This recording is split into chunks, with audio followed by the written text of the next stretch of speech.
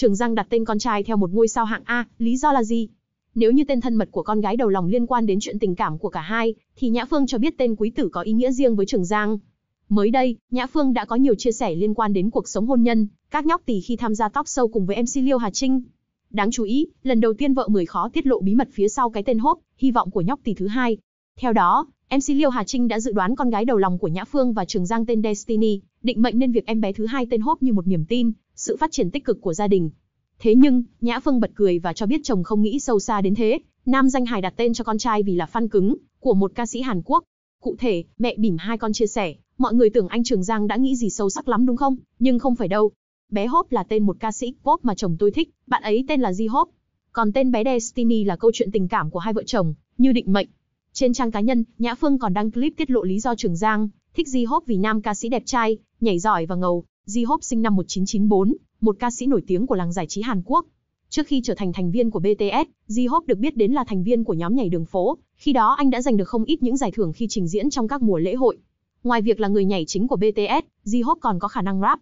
Trước đó, nam danh hài còn muốn đặt tên tiếng Việt cho quý tử là Minh Hiếu hoặc Hiếu Minh, hao hao với tên thật của H E U T H U H I, Trần Minh Hiếu, để mong con là đứa trẻ vừa thông minh vừa biết hiếu thuận với gia đình.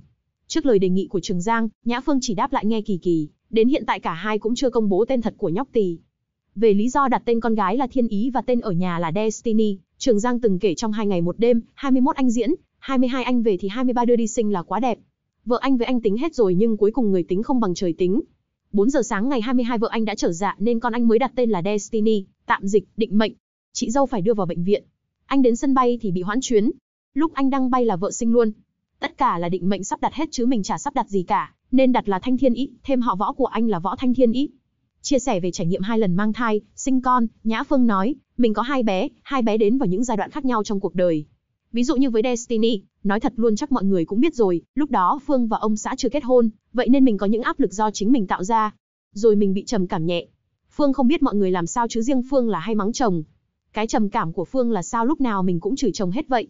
Nhưng sang đến lúc sinh em bé hốp thì nó lại là câu chuyện hoàn toàn khác. Kiểu như là với bé đầu, chồng Phương hỗ trợ hết mình từ ăn uống, nghỉ ngơi, tập luyện, được làm công việc mình yêu thích và không phải vướng bận điều gì. Vì đã có cái guồng tốt hơn nên khi sinh bé hốt, mình không lăn tăn gì cả. Hai nhóc tỷ của cặp đôi thường xuyên xuất hiện cùng bố mẹ trong những dịp quan trọng.